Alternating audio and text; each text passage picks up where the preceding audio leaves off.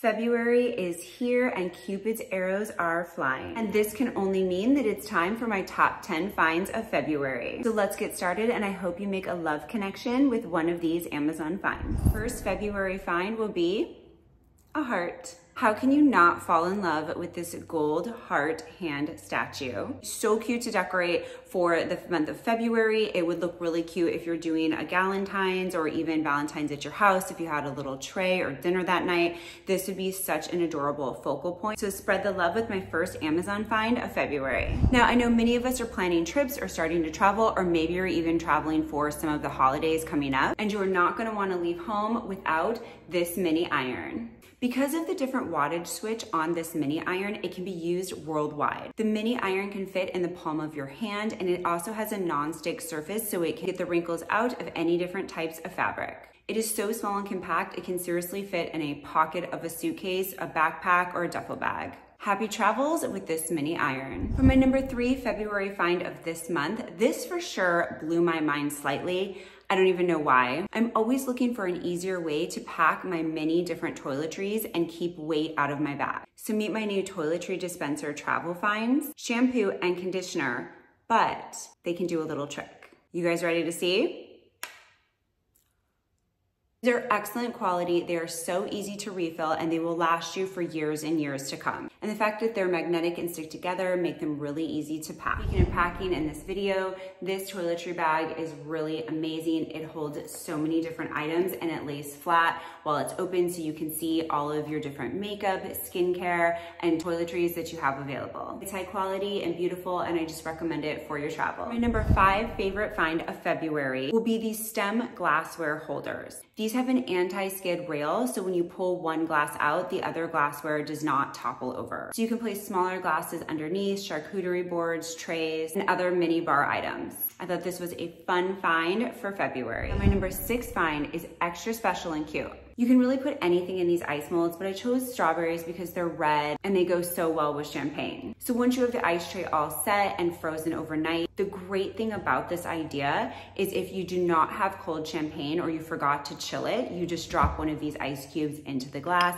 pour the champagne and you have ice cold champagne. And of course you could do this with any drink, whether it be wine or a cocktail or a mixer.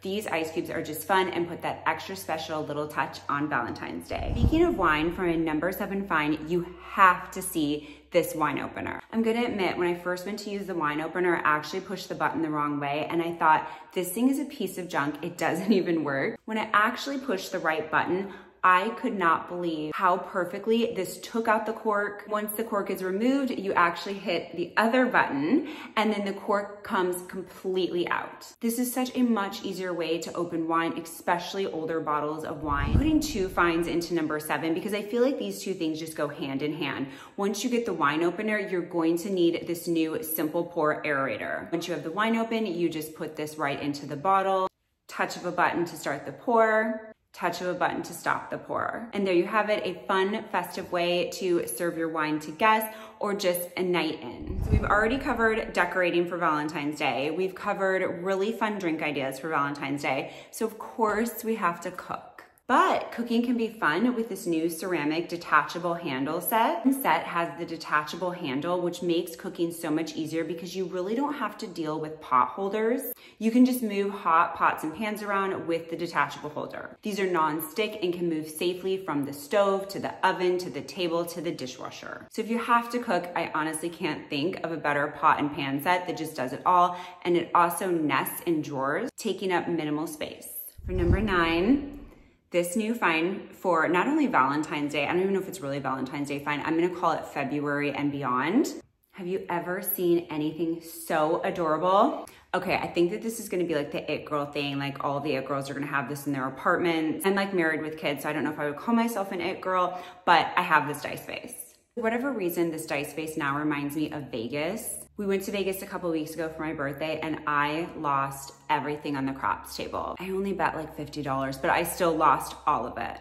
So for number nine, make sure you pick yourself up the vase of the season, the dice vase. Number 10 fine, I have to admit, I wasn't sure what to expect when I opened it. Once I started to thumb through this book, it made me cry. It's actually the love book. It's by National Geographic. This book really reminded me just the simplicity of love.